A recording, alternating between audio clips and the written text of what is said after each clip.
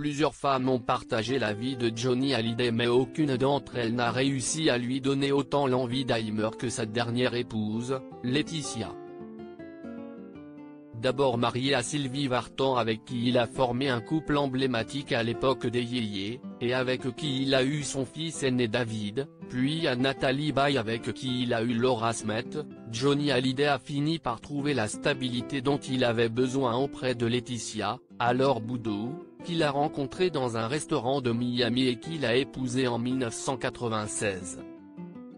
À l'époque, rares sont ceux qui auraient parié sur la réussite de leur union, le rocker et sa pétillante épouse ont prouvé à tous que l'amour n'a pas d'âge.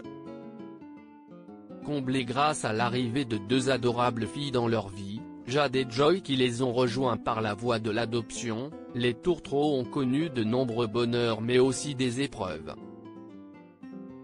Cet ultime combat contre la maladie et le cancer du poumon, Johnny et Laetitia Hallyday l'ont malheureusement perdu malgré tous leurs espoirs qu'ils résumaient en quelques lettres feuxcancées. Jusqu'à cette nuit du 5 au 6 décembre, date du décès du taulier à l'âge de 74 ans, les deux époux ont partagé une complicité hors norme à l'image de leur intense amour.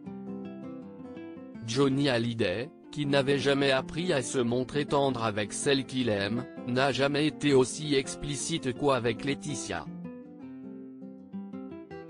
Le rocker ne cessait de lui clamer son amour sur Instagram, comme en ce jour de mars dernier où il écrivait « Merci mon amour pour toutes ces années de bonheur. 22 ans. Grâce à toi j'ai appris ce que t'es le respect de l'un et de l'autre et j'ai découvert ce que t'es le véritable amour. Je t'aime.